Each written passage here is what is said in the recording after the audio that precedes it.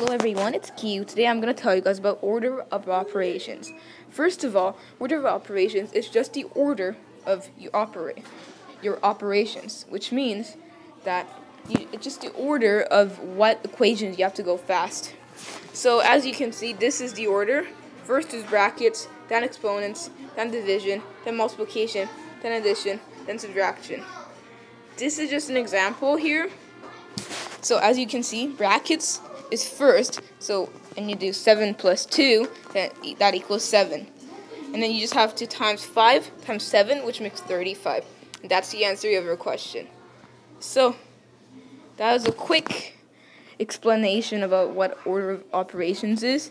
And if you like this video, please subscribe. And see you next time. Bye.